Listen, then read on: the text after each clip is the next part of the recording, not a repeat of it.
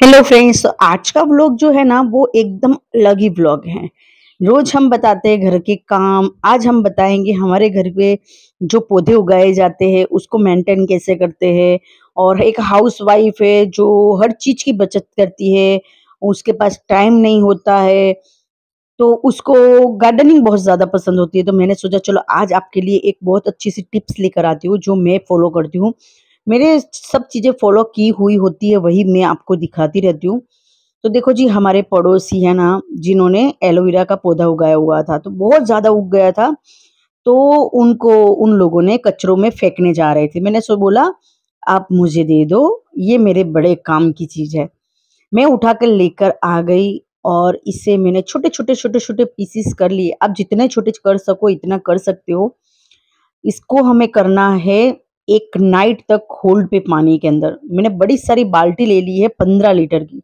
मेरे पौधे बहुत ज़्यादा है। जैसे कि तीस गमले हैं मेरे घर में वो तीसों गमलों में मुझे ये पानी डालना है। और फिर डाल देना है आपको एक बड़ा सारा गुड़। इससे होगा आपकी पौधों के अंदर अच्छी सी साइन आ जाएगी, एक ग्लिसरीन आ जाएगी। और एलोवेरा जो होता है वो आपके पौधों की जड़ों को मज़बूत करता है, आपके मॉइस्चर देता है। तो इस तरह से देखो, एक नाइट हो चुकी है। मैंने पानी पूरा अच्छे से हिला दिया है। इस छन्नी की मदद से सारा निकाल देंगे। और देखो, खुदाई आपको एक दिन पहले करनी हो तो भी कर सकते हो और तब करनी हो तो भी कर सकते हो। देखो, मैंने दो से तीन गमलों में तो एक दिन पहले ही खुदाई कर दी थी क्योंकि मट्टी सूख गई थी और मैंने सोचा, चलो, खुदाई कर दी तो थोड़ा ऑक्सीजन चला जाएगा अंदर। खुदाई करने से क्या होता है कि ऑक्सीजन जाता है मूड़ों के अंदर। तो उससे हमारे जो पौधे होते हैं ना, बहुत हरे भरे हो जाते हैं। मैं हर एक महीने में ये सब करती रहती हूँ क्योंकि मेरे टेरेस पे बहुत सारे एलोवेरा के पौधे उगा रखे मैंने और बहुत ज़्यादा मात्रा में है। तो बस मैं ज़्यादातर पौधों के अंदर ही यूज़ करती हूँ और इतनी अच्छी खुशबू आ रही थी, एकदम कड़वास वाली जो खुशबू होती है ना, वो वाले अंदर खुशबू आ रही थी, कड़वास वाली एकदम। छन्नी, इसको आप अगर यूज़ करना चाहो ना नेक्स्ट टाइम और दूसरे दिन तो आप कर सकते हो, पर इतना आप को नहीं मिलेगा इसके अंदर से जो आपको चिकास चाहिए वो पर फिर भी चलो एक बार के लिए तो चल जाएगा। आप अगर करना चाहो तो कर सकते हो बाकी आप इसको आ, कुछ दूसरे यूज़ में भी ले सकते हो दूसरे यूज़ में तो कुछ ले नहीं पाओगे इसको तो आपको फेंकना ही पड़ेगा। और इस तरह से मैंने सारा निकाल दिया और पूरा पानी बहुत अच्छा हो गया था और पौधे मेरे बहुत अच्छे हैप्पी होने वाले हैं क्योंकि मैं ये करती रहती हूँ। मैंने सोचा चलो आज आपके लिए साथ सैरी कर लेती हूँ क्योंकि देखो घर के अभी धूप हमारे गुजरात में बहुत ज़्यादा धूप है।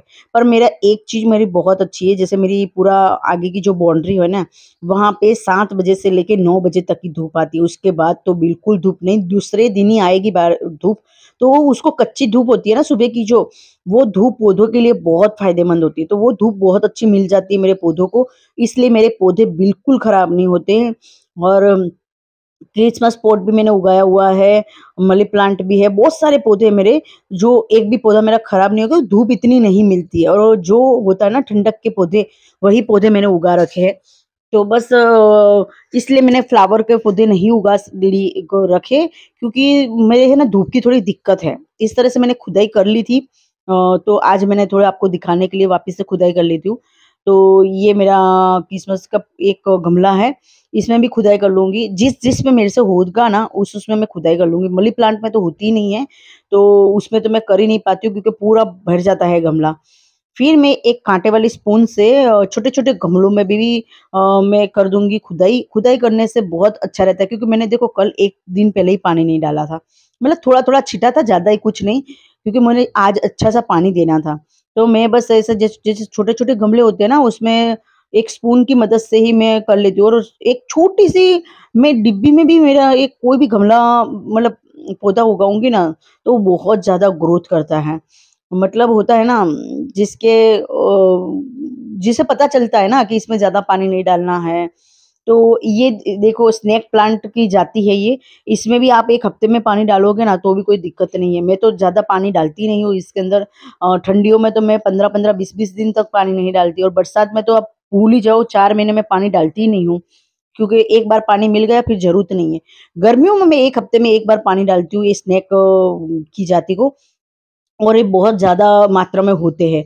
छोटे छोटे छोटे डिब्बियों के अंदर अब खुदाई कैसे करे भाई? आसपास में तो इतनी जम गई थी मिट्टी, फिर भी मैंने, मदद से सारा मैंने कर दिए। यहाँ पे भी मेरे सारे गमले हैं, इसमें भी बिल्कुल जगह नहीं है, फिर भी मैंने थोड़ा सा ऑक्सीजन लेवल अच्छा जाए अंदर मूड के अंदर। बस मेरा यही रहता है तो आप लोग क्या किए, करा कीजिए। आपके वहाँ धूप आती है ना तो जो धूप के पौधे हैं ना, वो धूप में उगाया करो और जो छाँव के पौधे हैं ना, वो उसको छाँव में रखा करो तो आपके पौधे कभी भी खराब नहीं होंगे। जैसे देखो, ये सब छाँव के पौधे हैं इसको बिल्कुल धूप नहीं चाहिए। ये धूप में जाएँगे ना तो ये पीलो पीले पड़ जाएँगे। तो आप क्या कीजिए कि जब आपको लगता है कि धूप यहाँ पर हम, आपके वहाँ बहुत आती है तो वहाँ पे आप धूप के पौधे उगाइए। जहाँ पे छाँव रहती है, वहाँ छाँव के पौधे उगाइए। मेरे यहाँ पे देखो फ्लावरिंग तो मुझे बहुत ज़्यादा पसंद है, पर अब उसको थोड़ी सी धूप चाहिए ही चाहिए। पर ये गर्मी का मौसम है, इसलिए मेरी बाउंड्री पर थोड़ी सी धूप आ जाती है दो घंटे के लिए, बाकी बिल्कुल भी मेरे वहाँ पे धूप नहीं आती। इसलिए और मुझे कैक्टस बहुत बहुत बहुत पसंद है। सबसे फेवरेट मेरे कैक्टस है। तो इसको मैंने जब से उगाया हुआ है ना टेढ़ा ही उगाया पता नहीं क्यों। अब इसके सारे गांठे निकल चुकी है तो मैंने सोचा, चलो अब इसको भी दूसरे में ट्रांसफ़र करना पड़ेगा मुझे। बस थोड़ा सा कोई अच्छा सा टाइम देखकर मैं इसको ट्रांसफ़र करूँगी। ये है कृष्ण का पौधा है।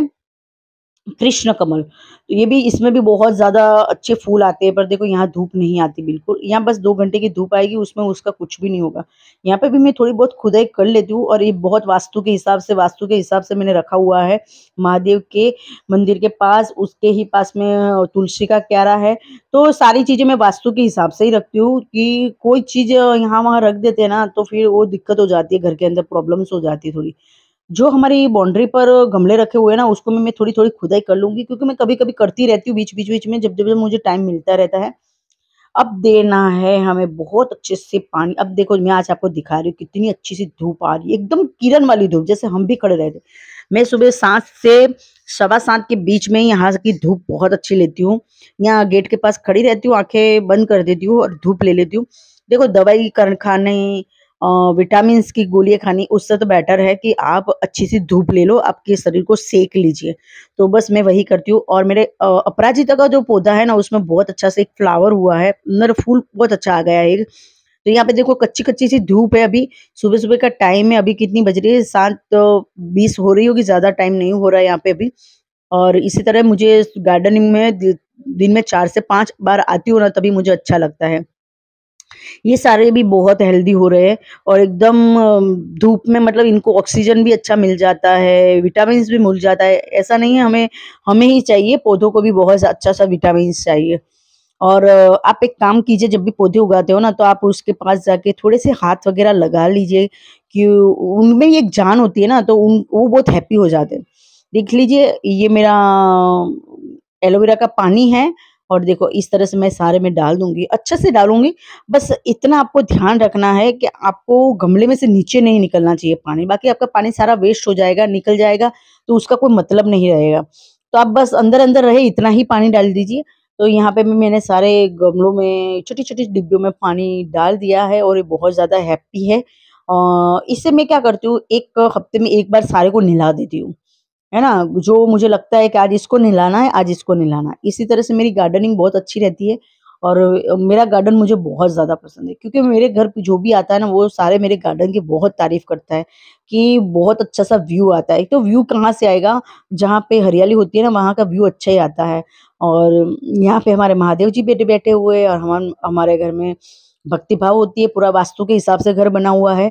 और मैं हर एक चीज़ वास्तु के हिसाब से रखती हूँ। पहला सर्च करती हूँ कि ये चीज़ हमें कहाँ रखनी है। क्योंकि एक चीज़ भी हम यहाँ वहाँ रख देंगे ना तो घर में पैसों की और फैमिली में झगड़े वगड़े की भी बहुत दिक्कत हो जाती है।